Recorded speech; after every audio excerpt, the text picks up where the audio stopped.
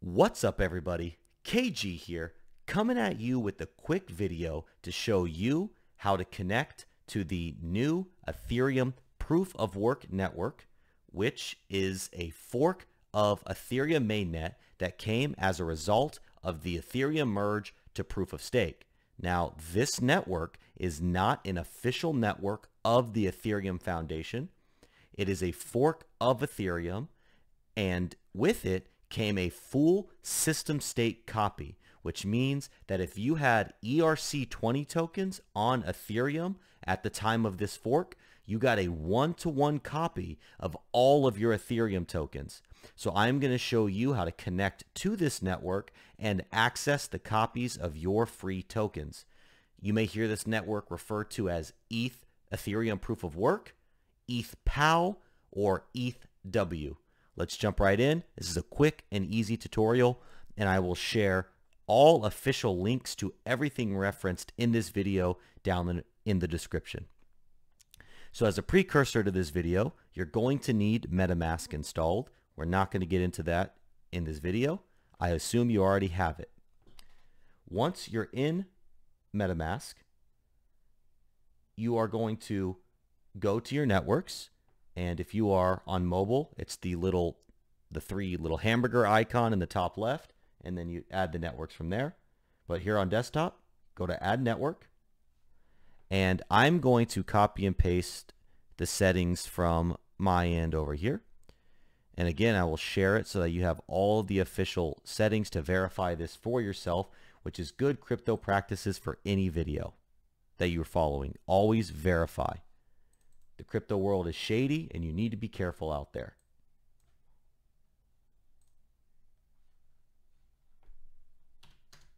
Chain ID 10001, currency symbol ETHW, block explorer,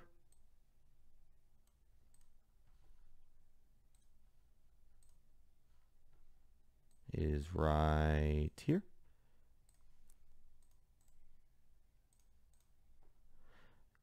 You may get this setting. That is okay. It is just a warning. Or you may get this warning, not setting. Go ahead and click Save. Now you are connected to the ETHW mainnet. And you'll see I already have a little ETHW, which is the native token coin for this blockchain. And if you have one ETH, you're going to automatically see one ETH right here. So exactly the amount of tokens you had on Ethereum mainnet is how many tokens you're going to have here. So how do you check your free copies? Well, that's easy. You go ahead and click import tokens like you normally would. And we're going to practice with two tokens here. We're going to practice with the HEX token And again, I'll drop the, the link so you can see the official address. And this is a warning you might, or an error you might see. This address matches a known Ethereum mainnet token address. Recheck the contract address and network for the token you are trying to add. That's because the system state copy took all the contracts with it. So every contract that you know or every token address that you know on Ethereum mainnet is going to be the same address for the ETH POW network. It's the same exact address. So if you get this error, all you have to do is type in the token symbol and the decimals, which you can find on Etherscan, and click Add Custom Token. There it is. Import tokens. And you will see that I have a copy of my hex. Now let's go ahead and try with one more token. I'm going to test it with USDC. You're going to see the same error for this one. USDC, six decimals.